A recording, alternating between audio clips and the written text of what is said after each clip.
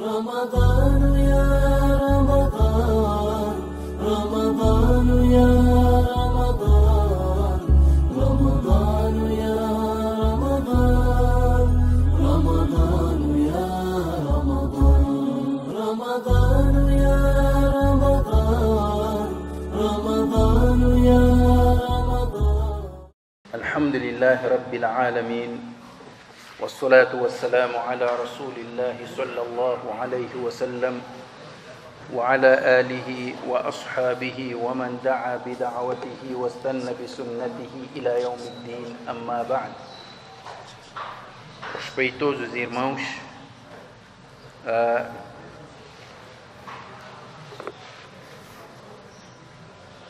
antes de irmos diretamente para o nosso tema para hoje, ontem nós falamos sobre Salat Tahiyyatul Masjid e explicamos que é a primeira coisa que a pessoa faz logo que entra no masjid, antes de sentar. Mas esquecemos ah, dar um promenor, que o Tahiyyatul Masjid pode perder esta prioridade. Em que momento? Se a pessoa está a entrar e logo já se fez o iqamat ou está a se fazer o iqamat para o salat. Portanto, o salatul fard nesse, nesse momento tem prioridade. Isto para evitar, porque a pessoa ouviu dizer que logo que entra, antes de sentar, tem que fazer tahiyatul masjid. Então, mesmo sabendo que o imam já iniciou o salat al-fard, está a se fazer iqamat para o salat al-fard, então a pessoa chega primeiro, tem que fazer tahiyatul masjid, depois para fazer o salat com o imam. Isso não pode acontecer. O que acontece é que a pessoa chegou, faz tahiyatul masjid, se houver tempo. O imam já, já está a se fazer o iqamat para o salat, então naquele momento a prioridade é o salat al-fard. Depois, prometemos que hoje íamos falar acerca do Salat Tarawih. Mas antes do Salat Tarawih, também surgiu aqui uma pergunta uh, sobre uh, o Salat feito, por exemplo, quatro rakats seguidos. Qual seria o melhor fazer? Dois, quando falamos do, do, do Sunnat, do Salat, uh, Sunnah no Rawatib. Melhor seria fazer quatro seguidos ou dois, depois dois. Sobre esse, esse tema, vamos buscar o hadith de Abdullah ibn Umar, radiyallahu ta'ala anhuma, no qual ele diz: أن النبي صلى الله عليه وسلم قال que o Nabi الله عليه وسلم diz صلاة الليل والنهار مثنى مثنى o salat de noite e de dia, mathna, mathna, é dois, dois, isto é, faz dois rakats, dá salam, depois faz dois, dá salam.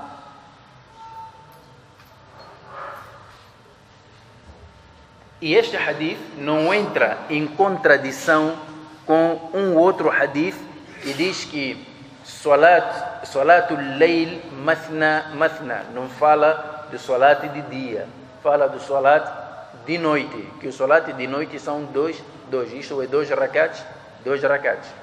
Então não há aqui nenhuma contradição com este hadith que diz que o salat de noite e o salat de dia são dois rakats, dois rakats. Por quê? Porque no contexto do, do hadith de salat feito à noite, era no contexto de uma pergunta. Alguém perguntou o Nabi alayhi salatu wassalam e nós vamos uh, aqui buscar o hadith.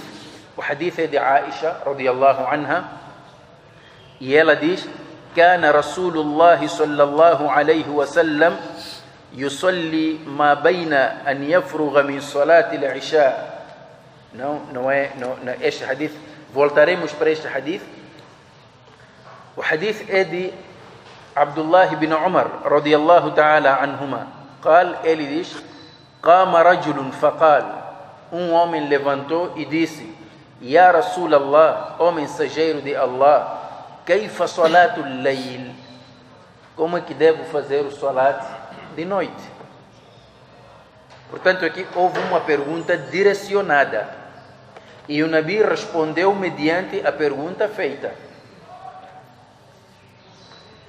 فقال رسول الله صلى الله عليه وسلم. تو نبي عليه الصلاة والسلام وديس صلاة الليل صلاة دي مثنى مثنى مثنى سوندوش سوندوش كده سوندوش ركاتش سوندوش ركاتش فإذا خفت استمرش الصبح استمرش كي تمرش بلا أورارا جشتا بريستش الرومبير أورارا فأوتر بواحدة então faça o witri um rak'a. Faça o witri um rak'a. Este hadith, estimados irmãos, responde uma outra questão. Nós sabemos que todos os imamos, eles procuraram seguir o Nabi alayhi salatu wasalam, seguir o seu sunnah. Mas, por exemplo, no caso de Imam Abu Hanifa, ele apoia a ideia de se fazer o witr como se fosse Maghrib. Isto é, faz dois rakats, senta, faz tashahud, atahiyat, depois levanta, sem dar salam, faz mais um rakat, então depois dá salam no witr. Qual foi a forma que o Nabi alayhi salatu fez? Foi esta. Dois rakats, dá salam, depois faz um. O problema que surge aqui é que as pessoas pensam que fazendo um não é salat. Porque aqui Imam Abu Hanifa usa a analogia e usa a lógica. Logicamente não há salat de um rakat. Essa é a lógica. Então, como não há salat de um rakat, logo o witr não pode ser dois rakats, salam, depois um rakat. Logicamente, estaria a contrariar aquilo que está previsto no Sharia. Mas aqui devemos explicar uma coisa, que o problema não está no Imam Abu Hanifa, o problema está nos que seguem Imam Abu Hanifa. Se nós voltarmos para o contexto em que o imamo viveu, no Iraque, naquele tempo,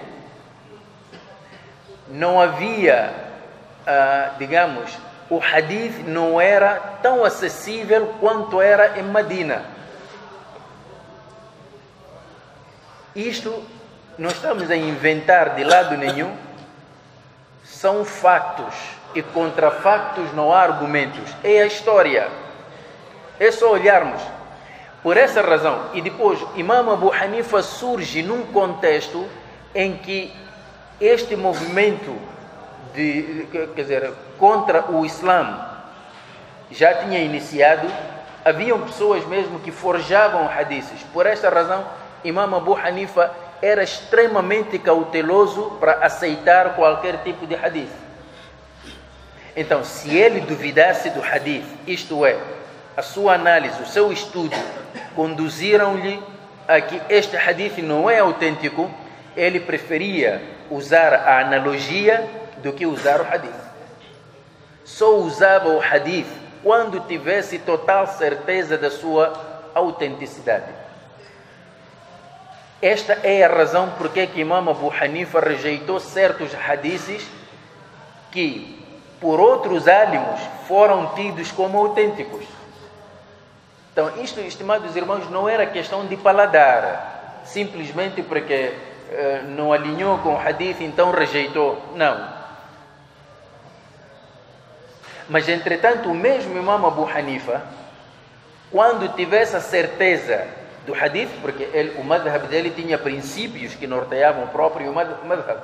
Então, quando ele tivesse certeza de que o hadith é legal, ele próprio passava por cima dos seus princípios só para acompanhar o hadith, porque para ele o hadith estava em primeiro lugar.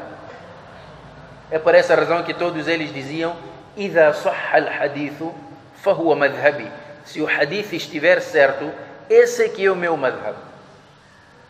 Então não faz sentido hoje um seguidor, por exemplo, de Imam Abu Hanifa, rejeitar um hadith simplesmente porque quer estar alinhado ao imam. Não.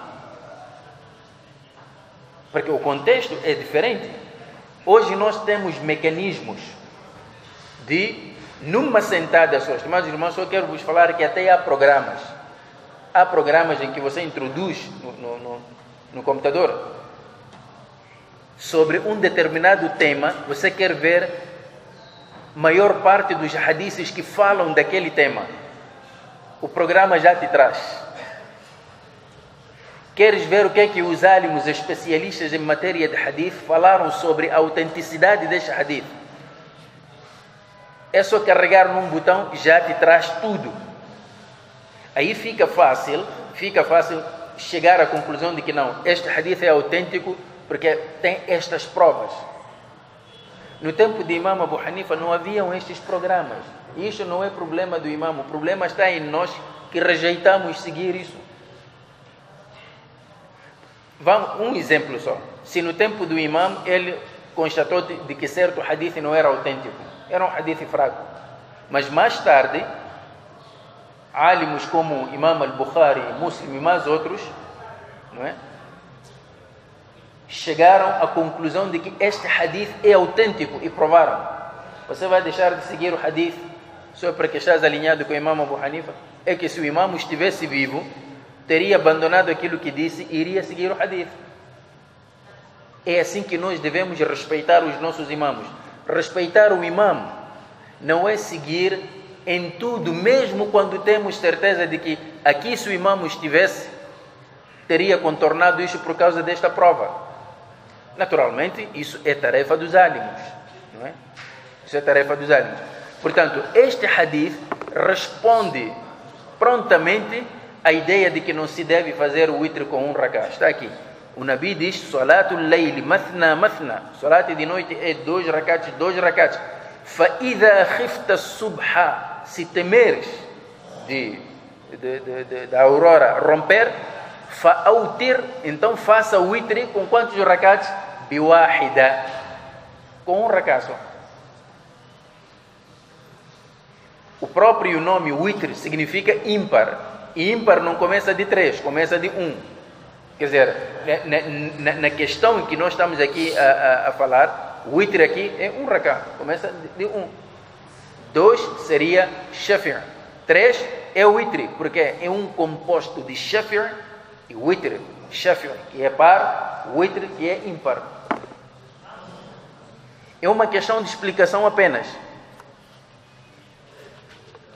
Portanto, salat, voltamos já para o hadith que diz Salatul layl wan nahar mathna mathna. O salat de noite e o salat de dia, estamos a falar de salat e sunnah, são dois rakats, da salam, dois rakats, da salam. E isso, estimados irmãos, vai nos levar já para um outro assunto.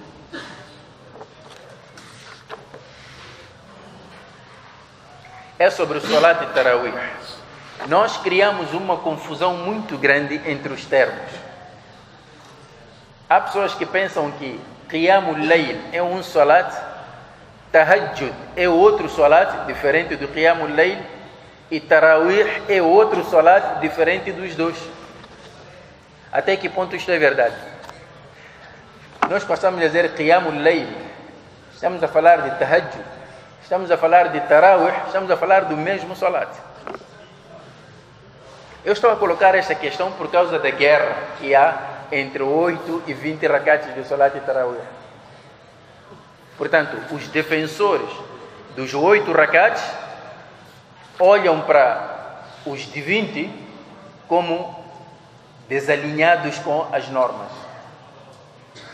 Que aqueles ali são bidistas, fazem 20. E os de 20 rakats olham para os de 8 rakats como pessoas que estão a inovar o dini, que não existe. O Nabi sempre fez 20. Até já ouvimos explicações, eh, de certa forma, um pouco caricatas. Diziam que não, o Nabi fez o 8 na mesquita, depois, quando chegou a casa, completou, até fazer 20.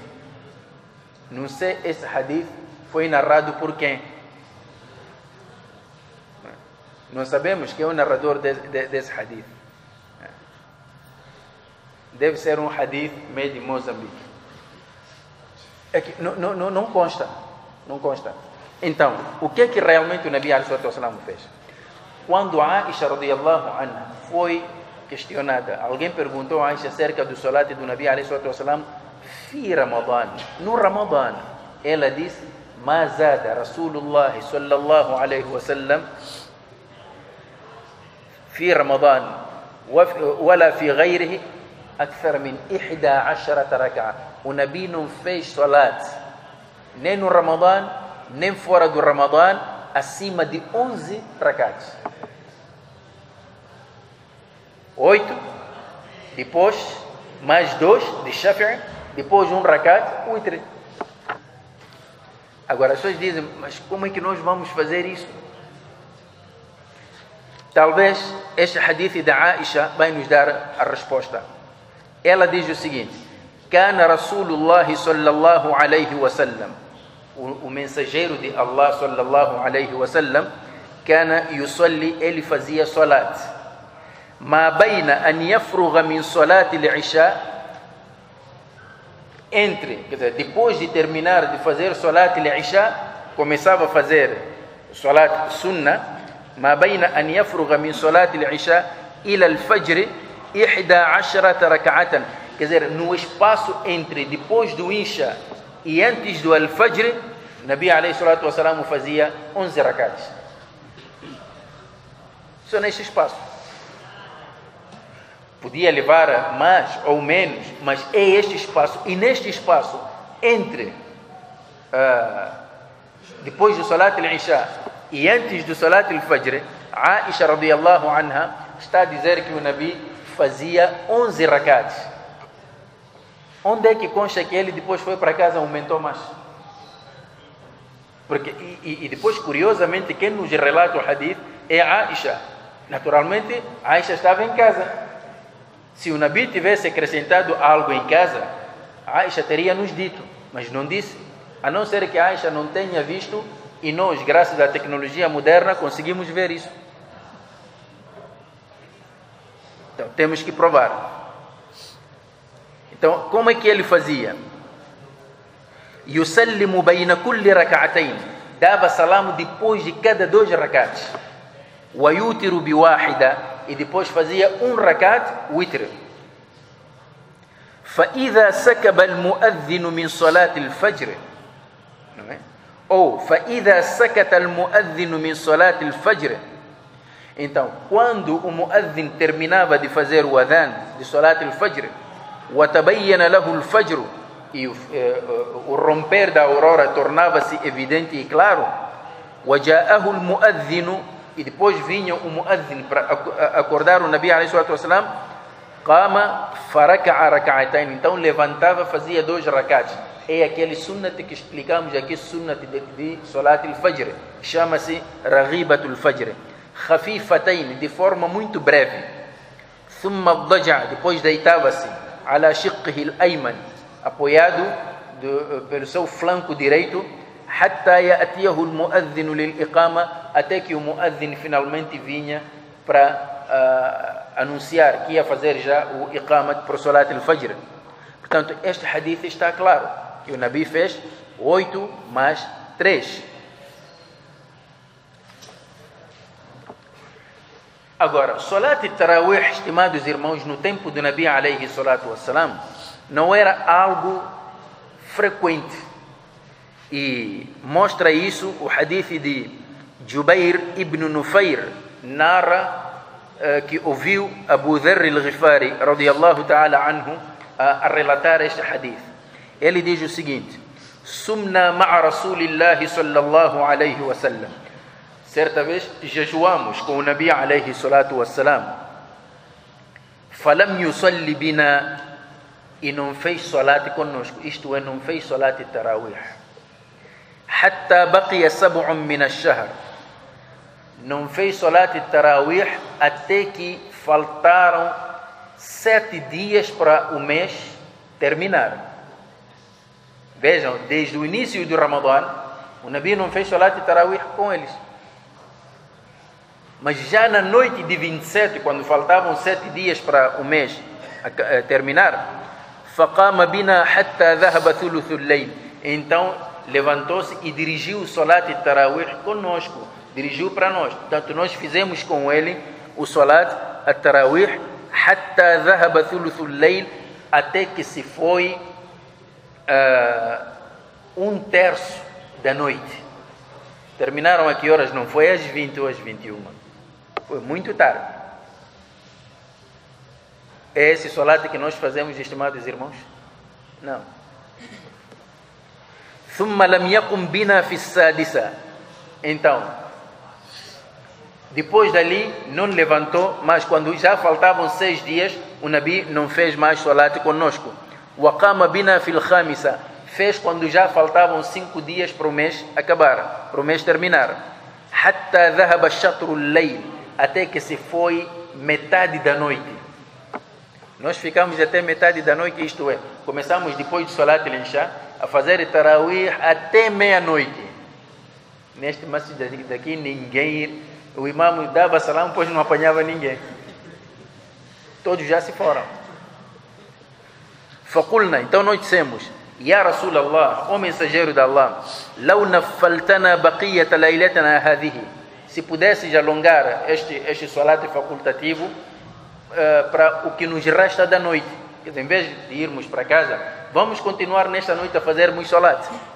Faqal, então ele disse, Innahu man qama ma'al imam hatta yansarifa kutiba lahu qiyamu layla.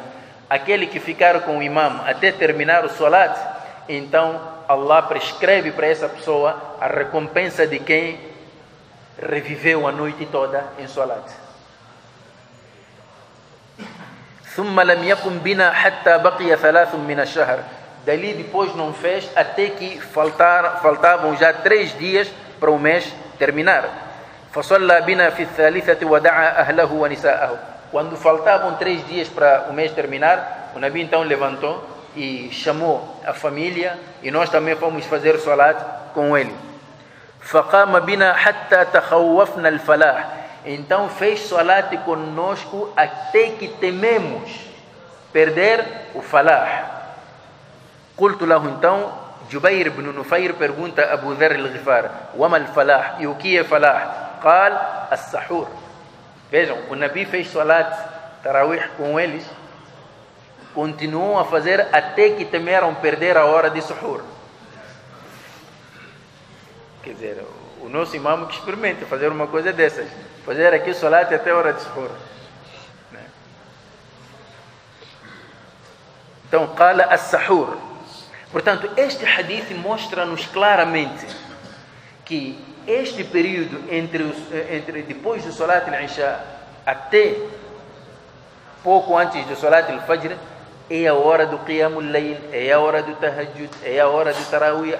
E nós aqui explicamos por que que os sahabas preferiram, ou pelo menos o Nabi salam preferiu aquela última dezena, por causa do hadith que explicamos aqui. Que Allah deixa, chama quem quer perdão para lhe perdoar, por aí em diante. Agora, depois da morte do Nabi salam e aqui havia uma razão, outros hadiths explicam, para que isto não se tornasse obrigatório e que depois as pessoas não iam conseguir. Depois da morte do Nabi salam já no tempo de Umar ibn al-Khattab, ele encontrou as pessoas, uh, um tinha ali um grupo a fazer tarawih, outro estava ali, o imam tinha o seu grupo, então divididos. Então, Umar juntou as pessoas com um único imam. Com um único imam. Então, mais tarde, as pessoas começam a fazer 20 rakats, mas não pararam nos 20. Foram mais. Outros faziam 36, 46, por aí em diante. Por quê? Porque o Nabi alayhi salatu wassalam em nenhum momento disse que o salat da noite tinha um número exato e taxativo, que não se devia ultrapassar. É sunna, cada um faz até onde puder. Cada um faz até onde puder. Vejam que para o Nabi fazer estes oito rakats, alaihi salatu wassalam, já podem imaginar a recitação do Nabi, alaihi salatu wassalam. Isso até vem numa passagem em que um sahaba encontrou o Nabi, alaihi salatu wassalam, a fazer salat de noite. Viu o Nabi, quer seguir, seguiu. O Nabi estava a recitar sur, eh, Surat al-Baqarah. Recitou Surat al-Baqarah, terminou e entrou para Surat al-Imran. O homem começou a ficar cansado. Diz que até fiquei arrependido mas não podia cortar o salat. Como é que vou abandonar o Nabi? Diz que ah, depois de, de, de Al-Imran, pelo menos quando já terminou Surat Al-Imran, o homem respirou fundo. Diz que agora vou fazer ruku. Afinal, nada. O Nabi continuou já no Surat Al-Nisa.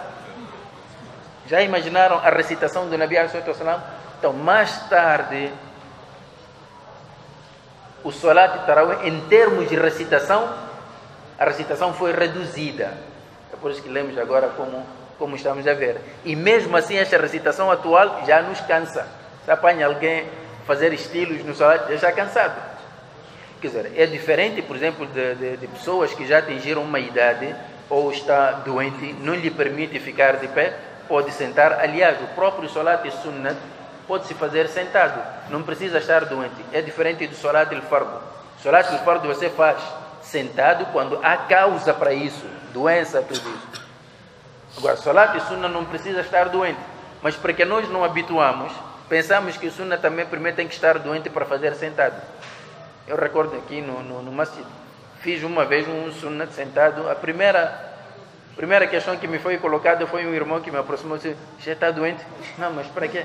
Está vir a fazer salat sentado? Olha, salat e sunnah não precisa adoecer para fazer sentado. Então, estimados irmãos, aqui reduziu-se. O que significa que nisto tudo, segundo a explicação dos álimos, aqui Allah subhanahu wa ta'ala deu-nos um espaço de manobra muito grande. Cada um faz aquilo que pode. O problema que surge aqui é alguns rejeitaram oito racates e defenderem com unhas e dentes de que oito racates não existe. E não é verdade. Oito racates existe. O hadith está aqui de Aisha, está no Bukhari. O mais triste é você ver um álimo a fazer um esforço titânico para rejeitar os oito racates por conveniências. Isto é triste. O álimo sabe, se é álimo, sabe que os oito racates existem. Agora, outra coisa é fazermos confusão com as pessoas porque estão a fazer 20. Deixa as pessoas fazem 20, pronto, que façam 20. Mas o pecado que é cometido por aqueles que fazem 20 é pensarem que o Salat Tarawih é só 20, não há mais. Portanto, se você faz mais ou menos, para os defensores de 20, você é um pecador. Quer dizer, recebe uns 20 rakats como se fosse uma revelação. Então, quando vem alguém a fazer o 8, logo mandam todo o seu processo para o Tribunal Supremo. Eu não cometi nenhum, nenhum delito. Só fiz oito rakats. Por que estás a fazer oito? Se fiz, porque o Nabi fez vem os de oito, Deus, olha, o, senhor está a cometer bidá. Qual é o bidá que eu cometi? Vimos ali a fazer 20 rakats. Qual é o problema de fazer 20? Estimados irmãos, a questão do salat, tarawih, é por isso que se chama tarawih. Há um tempo para descanso. A pessoa faz quantos rakats a pessoa achar, pode fazer. Agora, se alguém perguntar como é que o Nabi sallallahu alaihi wasallam fez salat al-witr, aliás, fez salat tarawih? São oito rakats. É assim. Não adianta aqui tentarmos uh, fazer um esforço titânico, dizer que não, primeiro fez o oito na mesquita, depois foi completar em casa. Isso não é verdade. Nabi fez oito. Agora, podemos fazer mais que oito rakats? Sim, senhor, podemos fazer.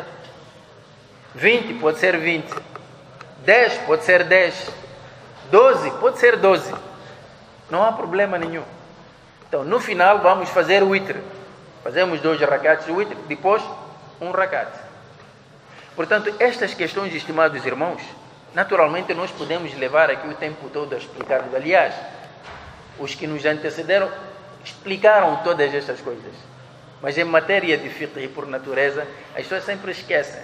E nós sempre temos que atualizar os conhecimentos. Aqui não estamos a trazer nada de novo. As coisas são, estão registradas. Ah, o, que, o, o que eu gostaria de chamar aqui a atenção é: nós não podemos transformar o ibada em hábitos e costumes, porque habituei assim, porque é a nossa tradição. Não. O din baseia-se no Coran e no Sunnah. E nós funcionamos mediante as provas. Há prova para esta prática, adotamos-la. Não há provas, então abandonamos. E um muçulmano, um crente, não pode ser rígido quando é para obedecer a Allah. Não. Quer dizer, se hoje alguém te traz provas concretas e mediante essas provas concluis de que aquilo que praticava estava errado, deixa imediatamente e vai para a coisa certa. Mas nós gostamos muito de ensaiar, que não, isto é, primeiro tenho que ver isso, depois tenho que reunir lá a família para ver se aceitam, não sei. O conhecimento já te chegou. O conhecimento já te chegou. Portanto, não, não há razão de nós termos confusões por causa do Salat e Tarawih. Se é 8, ou 20, ou mais, ou menos. A única questão é, você quer saber quantos rakats o Nabi fez, Tarawih? São 8. Mas se eu fizer 20, há algum problema? Não há problema. Posso recitar, posso fazer uma recitação longa? Podes fazer. Ou uma recitação mais curta? Também podes fazer. Porque essa é outra questão. Hoje nós, antigamente os nossos, os nossos avós faziam solat e tarawih com juz amma, a partir do Wadduha para lá. Depois chegamos a uma altura em que olhávamos para aquilo como se fosse uma inovação. Olha, isso é pecado. Nós queremos fazer com, com o Coran. E a maneira como a coisa foi colocada foi assim: escolha, Sheikh, nós temos que. Já chega de fazermos com uh, Inna Atoinaka. Nós queremos fazer com o Coran. E eu perguntava à pessoa: Inna Atoinaka é o quê? Não é o Coran? É o Coran também. É verdade, as pessoas podem manifestar vontade de vamos fazer desde Surat al-Baqarah, aproveitamos também ouvir a recitação. Mas aí depois começamos a cometer atrocidades, porque a nossa preocupação é de terminar o Coran. Primeira coisa, terminar o Coran não é obrigatório. Quer dizer, se não terminarmos o Coran no mês de Ramadã, não há pecado nenhum. Então, por causa dessa, dessa utopia de terminarmos o Coran, começar, começamos a fazer uma recitação, quer dizer, muito estranha. Atropelamos regras de tajwid, corremos tanto, não respeitamos paragens. Esse tipo de recitação não é aceitável. É preferível fazer com juz amma, mas recitar devidamente, do que correr para fazer todo o Coran e andar a atropelar uh, as regras. A pessoa tem que se sentir confortável, está a ouvir a recitação do Coran Karim. Então, estimados irmãos, uh, o tempo está, está aqui a nos fugir. Ramadan, ya Ramadan, Ramadan, ya Ramadan.